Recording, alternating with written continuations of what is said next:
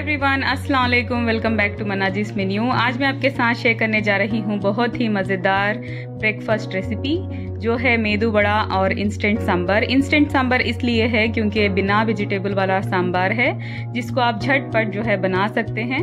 और सिर्फ़ वड़ा और सांभर जो है हमारे घर में बनता है नाश्ते में कभी कभी तो सोचा कि आपके साथ शेयर करूँ ये रेसिपी और ये सांभर की रेसिपी मेरी अम्मी की रेसिपी है, जो बहुत ही मज़े का होता है। तो चलिए शुरू करते हैं वड़ा बनाने के लिए। सबसे पहले दाल को जो है भिगोना है, माश की दाल को। तो वन कप जो है माश यहाँ पर हम ले रहे हैं। तो आपकी फैमिली मेंबर्स के ऊपर डिपेंड है कि आपके घर में कितने खाने वाले हैं, उस हिसाब से आप माश लें। तो वन कप माश यहाँ पर मैं ले रही हूँ। इसको अच्छे से वॉश कर देंगे और इसको रख देंगे सिक्स टू एट आवर्स तक जो है माश को भिगोना है। तो रात भर जो है मैं इसको रख दूँगी। इसको फ्रिज में रखने की कोई ज़रूरत नहीं है। आप इस तरह से बाहर रख दें।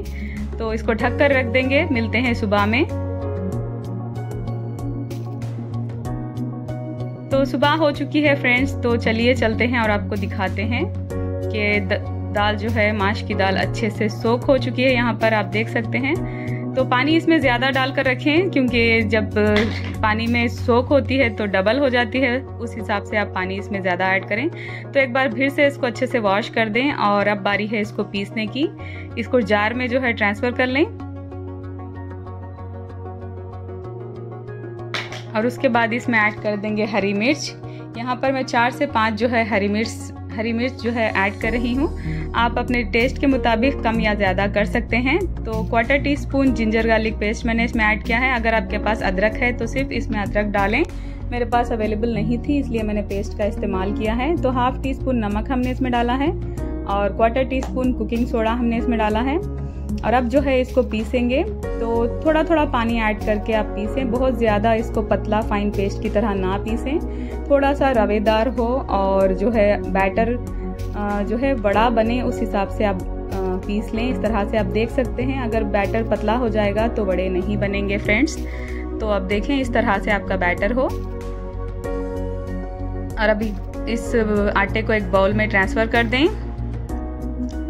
उसके बाद इसमें ऐड कर देंगे चॉप की हुई ऑनियन दो जो है मीडियम साइज़ के प्याज हमने इसमें डाले हैं और हरा धनिया मुट्ठी भर के हमने इसमें डाला है और साथ ही इसमें ऐड कर देंगे फ्रेश कड़ी पत्ता। अगर आपके पास कच्चा नारियल है तो उसको भी आप चॉप करके इसमें डाल सकते हैं। बहुत ही मज़े का जो है आ, खाने में लगेगा। तो अच्छे से इसको पटक पटक के मिक्स कर दें ताकि इसमें एयर फॉर्म हो इस तरह से और इसको रेस्ट करने के लिए रख देंगे फाइव टू टेन मिनट्स या अगर टाइम है तो आप आधे घंटे के लिए भी इस बैटर को रख सकते हैं।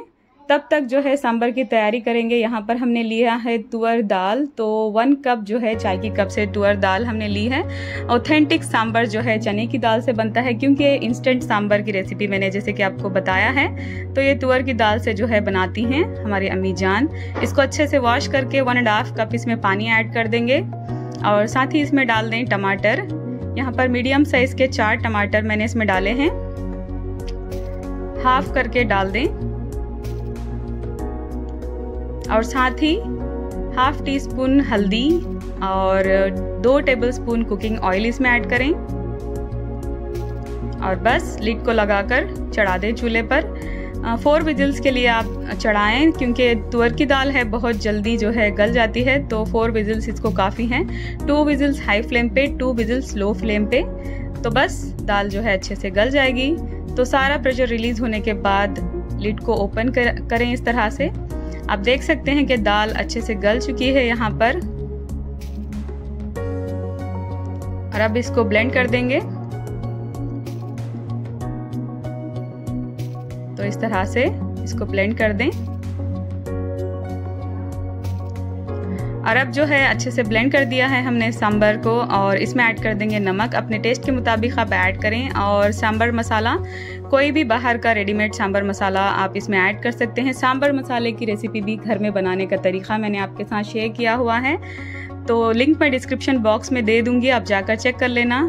उसके बाद मैंने इसमें ऐड किया है half teaspoon red chilli powder optional है, आप चाहें तो ऐड कर सकते हैं या स्किप कर सकते हैं।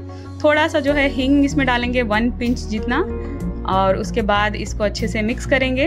हरा धनिया मैंने इसमें डाला है मुट्ठी भर के, क्योंकि बहुत ज़्यादा धनिया घर में था। ख़राब हो जाएगा, इसलिए मैंने ज़्यादा डाला है। आप अपने हिसाब से ऐड कर लें। और अच्छे से मिक्स कर देंगे।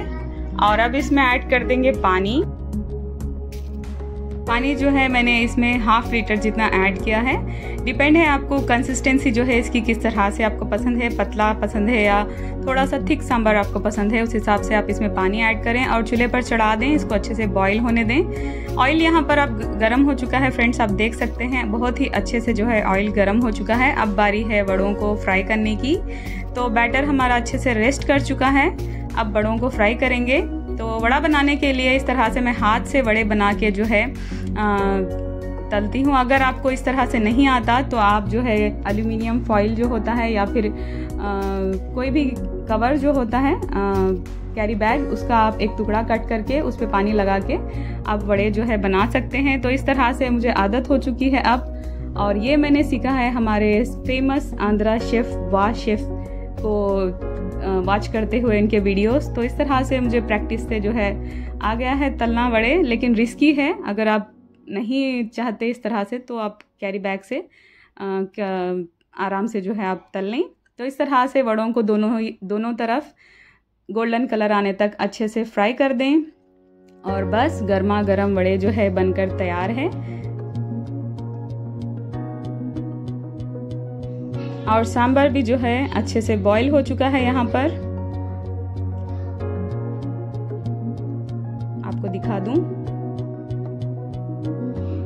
ये देखें, सांबर जो है अच्छे से बॉईल हो चुका है। फ्लेम को ऑफ़ कर देंगे। अब बारी है सर्व करने की। तो ये हमारे बड़े तैयार हैं। बहुत ही ऊपर से क्रिस्पी है और अंदर से बहुत ही सॉफ्ट हैं। सांबर भी बहुत मज़े का जो है लग रहा है। सर्व कर देंगे अब। तो बहुत हेल्दी टेस्टी मज़ेदार नाश्ता जो है बनकर तैयार है। हॉलीडेज़ हैं तो बच्चों को आप बनाकर खिलाइएगा ज़रूर। आई होप कि आपको ये रेसिपी जो है ज़रूर ज़रूर पसंद आएगी। ज़रूर ट्राई करिएगा। सांबर पाउडर घर में बनाने का तरीका मैं आपके साथ शेयर करके हूँ वीडियो।